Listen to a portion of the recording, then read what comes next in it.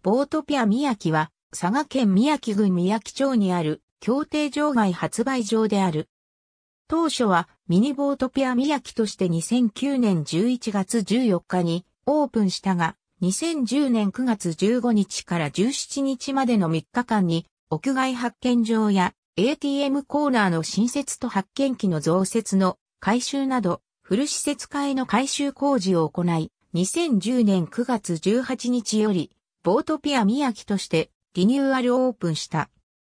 発売するレースは、唐津協定場で開催される全競争と福岡、協定場で行われる一部の競争ほか、SG、GI、GII の全競争と全国の各地協定場で開催されている一般戦、ギー戦やナイターレースのいずれかで1日5馬体制で発売する。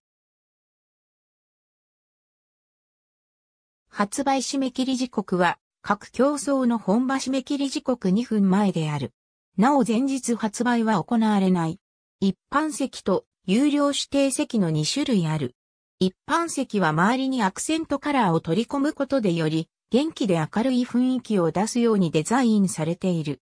一般席の数は136席あり、65インチのプラズマテレビを合計30台設置しており、各競艇場のオッズ、実況、展示タイムなどをリアルタイムで見ることができる。インフォメーションの右側に売店と食堂春亭、八福がある。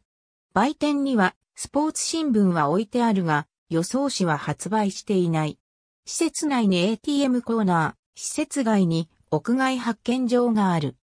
トータリゼータシステムは、唐津競艇場と同様、富士通フロンテック製であり、2013年4月1日から全国総合払い戻しサービス、どこでも払い ON により、ボートピアみやきで発売された投票券が他の競艇場や一部ボートピアなどで払い戻しが可能となった。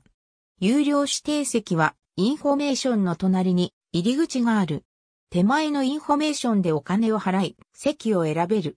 有料指定席の数は76席ある。ただし、未成年者の利用はできない。有料指定席は電話予約、会員制などがない、誰でも気軽に入場ができる。有料指定席の周りには重厚で、高級感を演出している。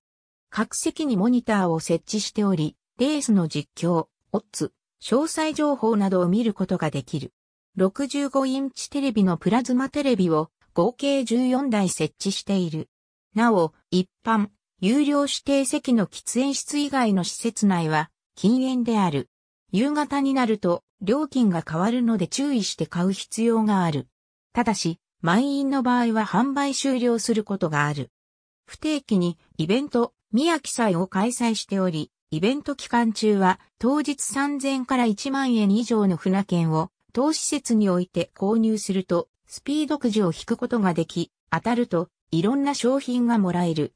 ただし、数に限りがあるため商品がなくなり次第、終了することがある。施設内に無料の給水器はないが、無料の飲料用の水がある。ありがとうございます。